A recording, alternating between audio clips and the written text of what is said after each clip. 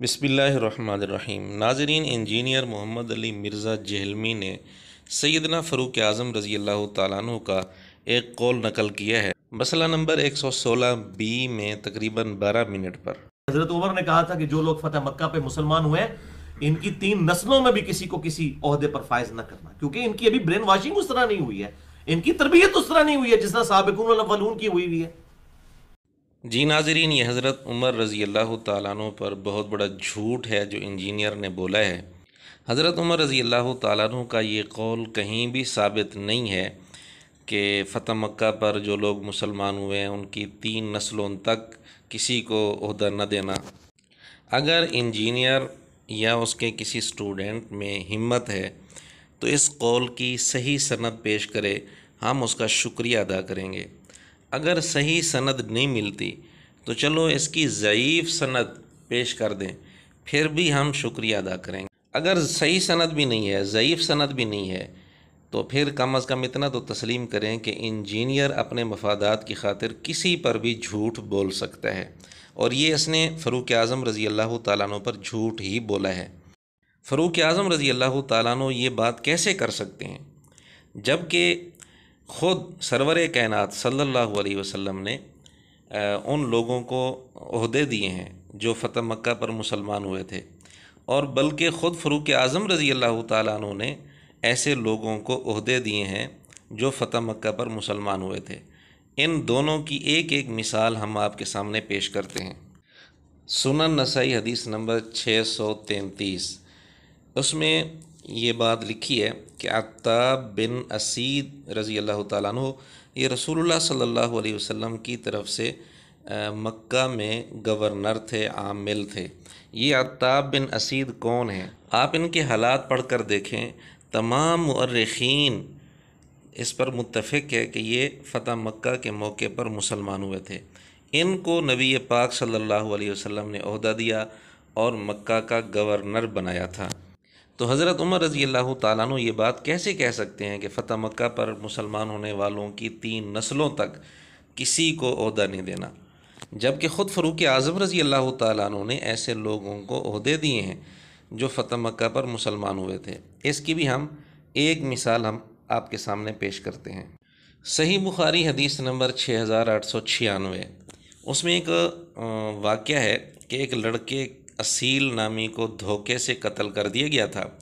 उमर रज़ी अल्लाह तु ने कहा कि सारे अहल सना, यानी यमन के लोग, इसके कत्ल में शरीक होते तो मैं सबको कत्ल करा देता।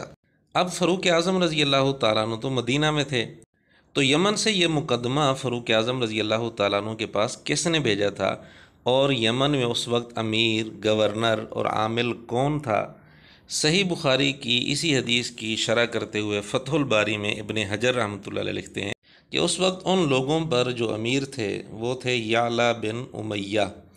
और अबू शेख के हवाले से इबन हजर लिखते हैं कि अबू शेख ने दूस, एक और सनद के साथ यही किस्सा नकल किया और उसमें ये अल्फाज हैं कि याला बिन उमैया जो हज़रत उमर रज़ी अल्लाह तु की तरफ़ से यमन में गवर्नर थे उन्होंने हज़रत उमर रज़ी अल्लाह तु की तरफ़ ये मुकदमा लिख कर भेजा था तो हज़रत उमर रज़ी अल्लाह तु ने ये जवाब दिया था।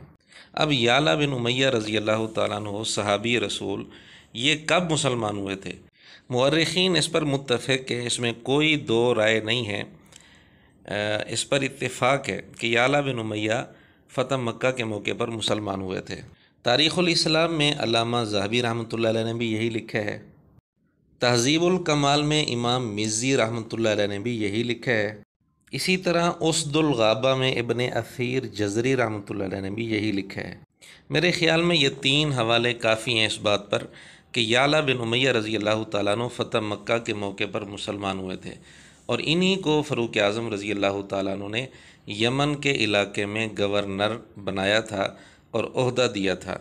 तो ये कैसे हो सकता है कि फ़रूक आज़म रज़ी अल्लाह तु ये बात कहें कि फ़तह मक्का के मौके पर मुसलमान होने वालों की तीन नस्लों तक इनको अहदा कोई नहीं देना नवज़बिल्ला जबकि हम साबित कर चुके हैं कि ऐसे लोगों को ख़ुद नबी पाक सल्लल्लाहु अलैहि वसल्लम ने अहदे दिए हैं और फ़रूक आज़म रज़ी अल्लाह तु ने भी अहदे दिए हैं।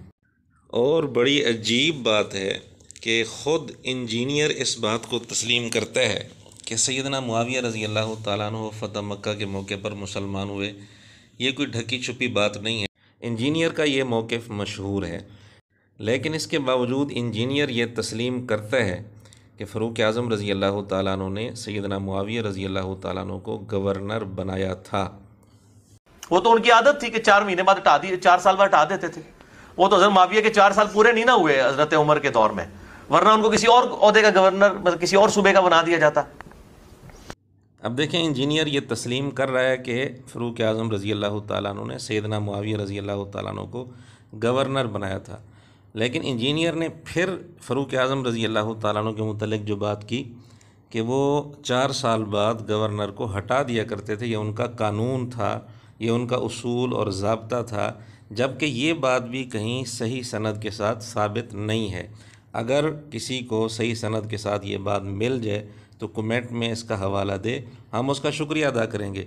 अपनी तरफ़ से इंजीनियर बना बना के बातें करता रहता है। बहरहाल, इतना तो इंजीनियर ने तस्लीम कर लिया कि सैदना मुआविया रज़ी अल्लाह तु को, फ़रूक आज़म रज़ी अल्लाह तु ने गवर्नर बनाया था।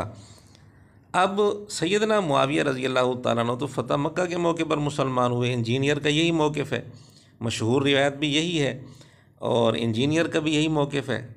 तो ये कैसे हो सकता है कि फ़रूक आज़म रज़ी अल्लाह तु फ़तह मक्का के मौके पर इस्लाम लाने वालों को गवर्नर भी बना रहे हैं अहदे भी दे रहे हैं और साथ ये भी कहें कि तीन नस्लों तक इनको कोई अहदा नहीं देना।